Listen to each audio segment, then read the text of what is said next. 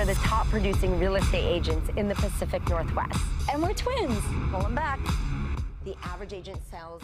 So we're talking to Lyndsay Lamb and Leslie Davis, who you just saw a little clip of there. They are the local stars of the HGTV show Unsellable Houses, which takes place in Snohomish County, just kicked off its second season. So Lyndsay and Leslie joining me now this morning. Ladies, hi, congrats on season two. Good morning. Thank Good you. morning. Good Thank morning. you. Well, well, it's uh, great to have you here. So, how are you feeling about this new season uh, this morning?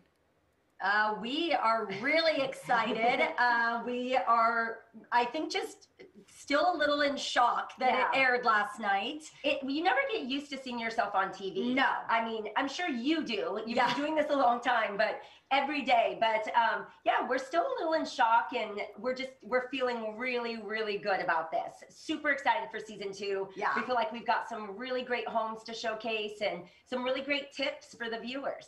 All right, I would love to hear if you can just maybe give us one of those tips because I have to be honest, the idea of an unsellable house in the Puget Sound region sounds like something that doesn't quite exist. I mean, we're talking about Totally. houses that are so expensive right now and in bidding wars. Where are you finding these?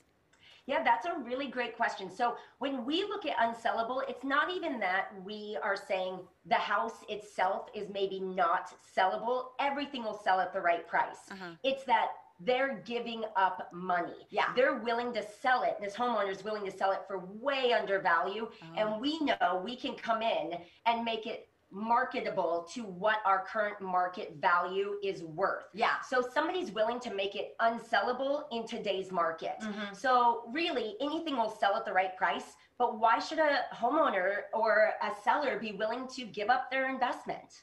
Yeah, yeah, absolutely. I mean, it sounds like you're fronting all the money for the fixes yourselves, uh, as you mentioned here. So, how did you get into all this? I mean, that that that sounds like a, like a huge undertaking. Yeah, absolutely. It started small. Um, it started as just kind of actually a marketing plan for Yeah. us.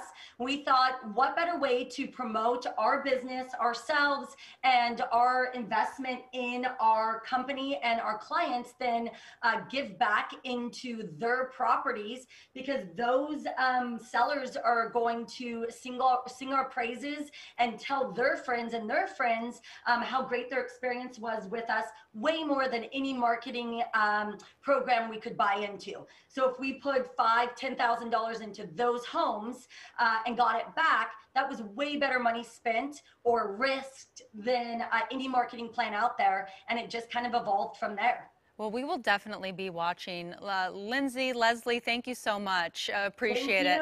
My husband loves these kind of shows, so we will for sure have every episode on. I, I can tell you that. Thank